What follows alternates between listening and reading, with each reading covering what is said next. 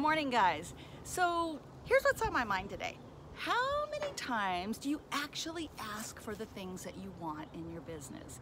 I have a great example where Janice, my executive assistant, asked for something that we wanted and she got it and I am just thrilled. But let's back up a little bit first.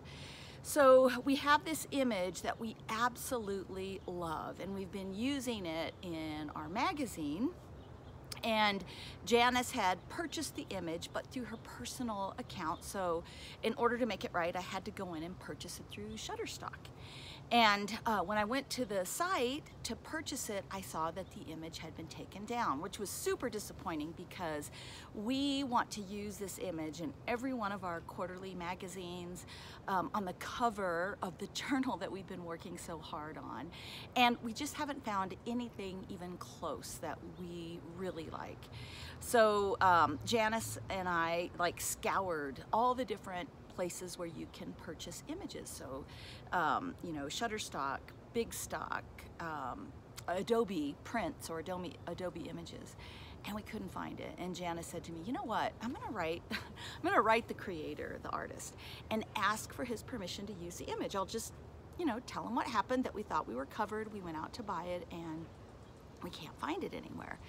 And I said, okay, great, you know, and I I thought, okay, maybe that'll work, but I honestly wouldn't have thought to, to write and ask for his permission. Well, not only did he give us permission to use the image, he gave us uh, so many different formats of the image, and he offered us a really good price for exclusive rights to the image, which I, I may end up doing, I'm not sure yet. Um, the I guess the lesson in this is if we don't ask for what we want, we're not going to get it. And what's the worst thing that can happen? I would have never thought to write the artist and ask for his permission, but we have it now, we have it in writing, and we have even more options of using the image than we had before she sent the email and asked for his permission. I wrote him back and told him that it just absolutely made my day and he wrote me a really nice note back. So I think, you know, the other part of that is as an artist, oh my gosh, it's such a compliment when someone really loves our work.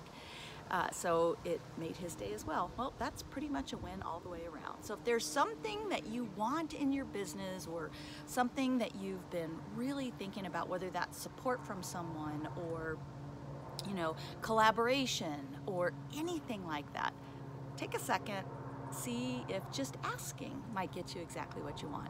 All right, guys, I hope you have a wonderful day and I'll talk to you tomorrow. Bye.